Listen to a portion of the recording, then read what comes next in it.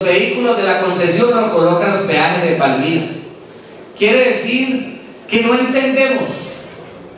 ni por razones matemáticas, ni por razones de alto gobierno, ni por ninguna otra razón, por qué los palmiranos tenemos que pagar las obras que se hacen en otros sectores y por qué bajo el peso de los